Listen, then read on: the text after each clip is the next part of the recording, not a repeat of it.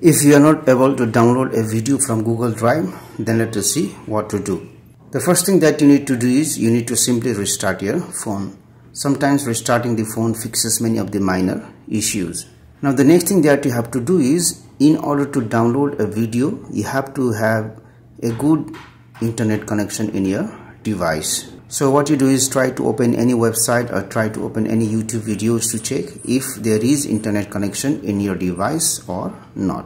Now suppose if there is an internet connection problem in your device then what you can do is you can restart the router. Also the other thing that you can do is you can go to settings, go to this option general management, go to reset, select this option reset network settings and then you have to reset these settings now this will reset all the settings related to Wi-Fi, mobile data and Bluetooth.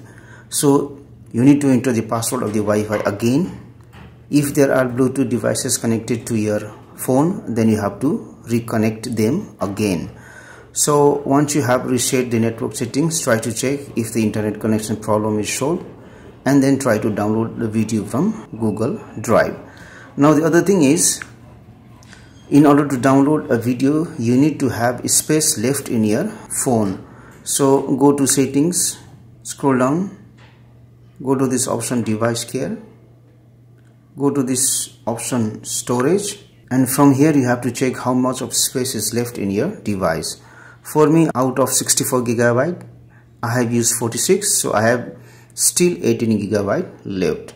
So make sure that you also have space in your phone. If you don't have space then you can delete unnecessary files such as videos photos or music from your device and make space so that you can download the video.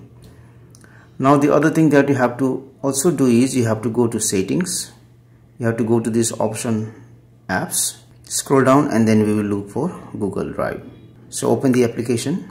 Scroll down go to this option permission and make sure that you have allowed Google Drive to use storage of your phone. Otherwise Google Drive will not be able to download any video.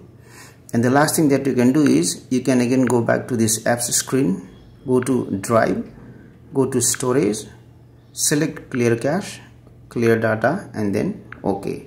So once you have cleared the cache files for Google Drive then what you do is try to download the video and you should be able to download the video from Google Drive. Please like this video if you found it helpful and also click on the subscribe button to get the notification of our latest videos for free.